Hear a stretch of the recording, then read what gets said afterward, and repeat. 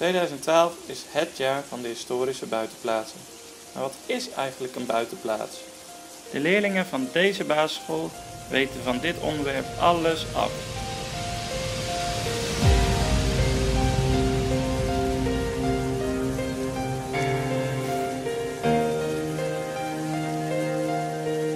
Kan jij vertellen wat een buitenplaats is? Dat is een plek waar dan rijke families naartoe gaan in de zomer.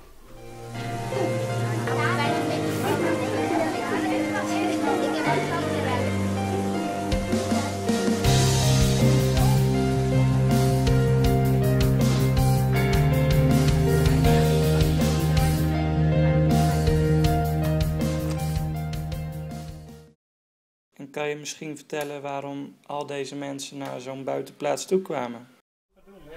Nou, ze kwamen daar omdat het heel erg stonk in de stad. Al het vuil werd op straat eh, gelegd. En dat vonden ze helemaal niet lekker ruiken, dus gingen ze vooral naar de buitenhuizen. Alleen de vrouwen en kinderen gingen, want de mannen moesten werken. En die gingen daar vooral muziek maken. Ze gingen ook op vinkenjacht. En ze gingen wandelen in de supergrote tuin. En soms kon je wel een uur wandelen om heen en terug te moeten. Maar hoe weten jullie dit toch eigenlijk allemaal?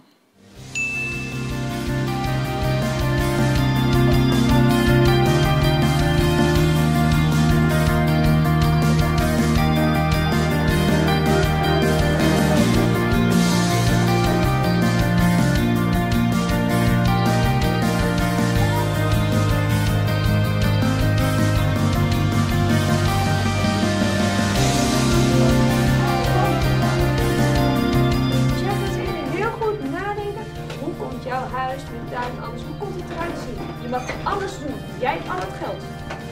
Maar het moet wel passen in die tijd.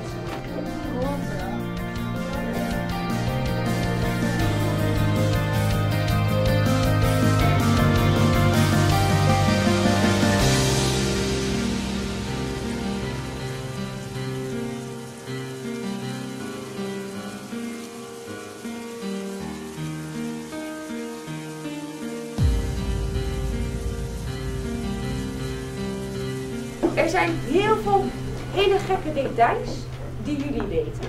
En samen hebben jullie echt hele leuke dingen verzonnen. Theedrinken, groot, was revolutie, Venus, een grote tuin, pruiken, bezoek, rustig, een buitenhuis, gemeentehuis, marsen, een marsen. Ik vind buitenplaats beter dan buitenhuis. Kun je mij vertellen waarom? Omdat er ook eh, een tuin bij zit, een hele grote. En dan heb je, heb je niet alleen het huis, maar ook de tuin. Eh, een plattegrond, dit is het huis en ik ben nog niet helemaal klaar. Hier zit een sloot. En dan zijn dit alle paden, omdat meestal hebben ze ook heel veel ingewikkelde paden en zo.